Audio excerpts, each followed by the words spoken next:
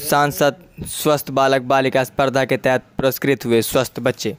तहसील कैसरगंज अंतर्गत एकलव्य महाविद्यालय झुकिया में आयोजित सांसद खेल स्पर्धा के अवसर पर सांसद, स्वस्थ बालक बालिका स्पर्धा के अंतर्गत विकास खंड चरवल व कैसरगंज के सात माह से छः वर्ष तक के बच्चों को मुख्य अतिथि सांसद कैसरगंज ब्रिजभूषण शरण सिंह ने जिलाधिकारी डॉक्टर दिनेश चंद्र व पुलिस अधीक्षक प्रशांत वर्मा व अन्य अतिथियों के साथ पुरस्कार का वितरण किया।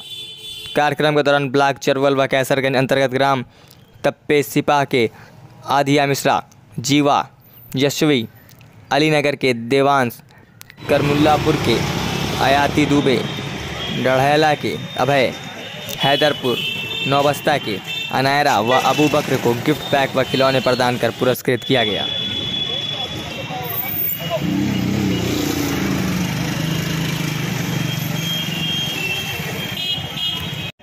啊，破罐。